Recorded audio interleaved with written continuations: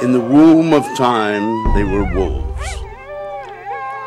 Canine warriors silently tracking Chukchi tribesmen as they both hunted the same reindeer in the Siberian Arctic of Siberian wilderness. 110 years ago, this highway of the north led dogs and mushers to the 1898 goldfields in the Klondike.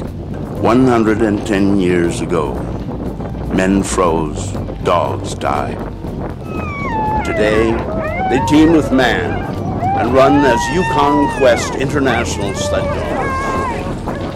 For the Yukon Quest of 2008, 10 dogs were flown from Somesville, Maine to Fairbanks, Alaska. These dogs are part of a nonprofit program working with at-risk youth called Pulling Together. Cold temperatures we have? It's cold. We have to put some time. We have to put some jackets. That's why we put jacket on the dogs to protect them from uh, the cold. Mushers carry mandatory equipment, food, and supplies at all times. After 500 miles into the Yukon Quest, Dawson City, Yukon, the midpoint is a mandatory 36-hour rest stop. The first couple days was brutal. We started out, I think it was 50 below. And uh, my first camp out on Birch Creek, my thermometer on my sled was maxed out at 60. Now, I don't know how cold it was, but as cold as I've ever been. How the dogs handle that kind of cold? Oh, they're tougher than I am.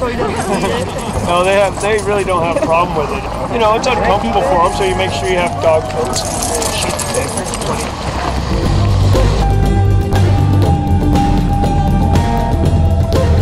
There are eight checkpoints along the 1,000 mile trail some of which consist of six to eight hour mandatory rests. Communities along the trail still show their support by providing meals and opening centers and cabins at each checkpoint along the way. Teams run and rest around the clock. Dog internal clocks determine work hours, not the wristwatch.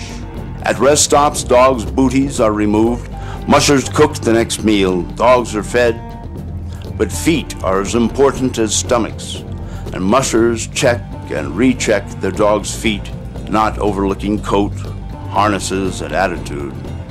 And if lucky, all sleep. As a lower 48er, it was difficult for us to keep up with the mushers, even with four-wheel drive and extra fuel tanks.